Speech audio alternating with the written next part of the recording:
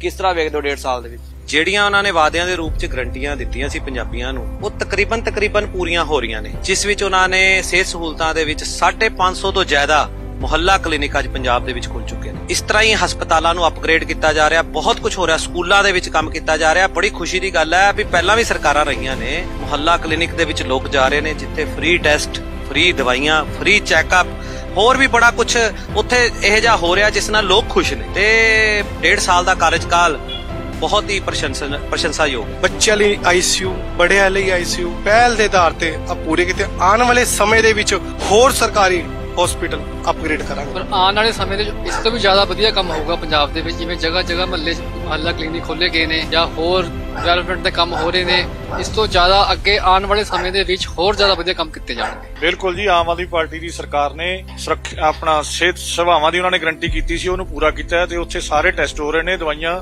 ਵੀ ਬਿਲਕੁਲ ਮੁਫਤ ਮਿਲ ਰਹੀਆਂ ਨੇ। ਦਵਾਈਆਂ ਵਗੈਰਾ ਤੇ ਬਿਜਲੀ ਦਾ ਬਿੱਲ ਜ਼ੀਰੋ ਆ ਰਿਹਾ ਹੈ ਤੇ ਹੋਰ ਵੀ ਕੰਮ ਜਿਹੜੇ ਹੋ ਰਹੇ ਨੇ ਵਧੀਆ ਹੋ ਰਹੇ ਨੇ। ਤਾਂ ਜਾਮ ਪਾਰਟੀ ਲਈ ਫਾਇਦਾ ਹੋਇਆ। ਸਾਡਾ ਬਿਜਲੀ ਦਾ ਬਿੱਲ ਜ਼ੀਰੋ ਆ ਰਿਹਾ ਹੈਗਾ ਬਹੁਤ ਸਹੂਲਤਾਂ ਹੋ ਰਹੀਆਂ ਨੇ ਦਵਾਈਆਂ ਫ੍ਰੀ ਮਿਲਦੀਆਂ ਨੇ ਡਿਸਪੈਂਸਰੀਆਂ ਫ੍ਰੀ ਖੁੱਲ ਗਈਆਂ ਨੇ ਦੇਖੋ ਇਲਾਜ ਤਾਂ ਮਹਿਲਾ ਚੋਂ ਨਿਭਾਲੇ ਲੋਕਾਂ ਨੂੰ ਇਹੀ ਨਹੀਂ ਪਤਾ ਕੀ ਕਿ ਸਾਡਾ ਮੰਤਰੀ ਕੌਣ ਹੈ, ਸਾਡਾ ਐਮਐਲਏ ਕੌਣ ਹੈ। ਹੁਣ ਦੇਖੋ, ਆਮ ਆਦਮੀ ਪਾਰਟੀ ਦੀ ਸਰਕਾਰ ਆਈ ਹੈ। ਆਮ ਬੰਦਿਆਂ ਨੂੰ ਸਭ ਨੂੰ ਪਤਾ ਵੀ ਸਾਡਾ ਐਮਐਲਏ ਕੌਣ ਹੈ, ਸਾਡਾ ਮੰਤਰੀ ਕੌਣ ਹੈ।